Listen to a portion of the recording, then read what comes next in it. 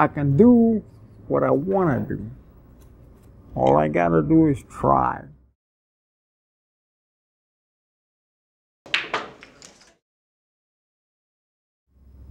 Today, my wife asked me, Have you ever regretted losing your leg?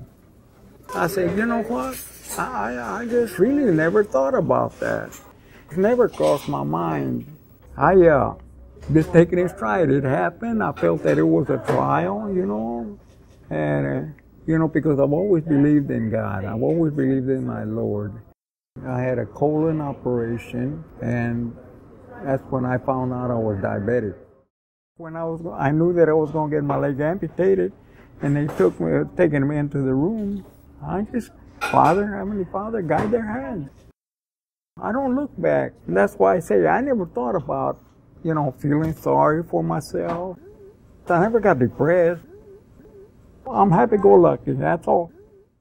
I started playing pool, learned how to play pool when I was 14 years old. Yeah, I'll never play pool as well as I once did, you know.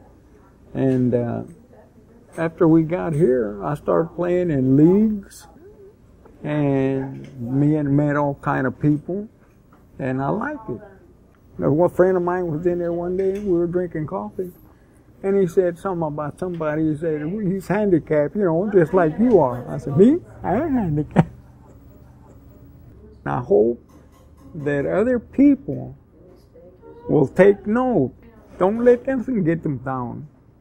Because they can do it, you know? And, and it's just the way I feel.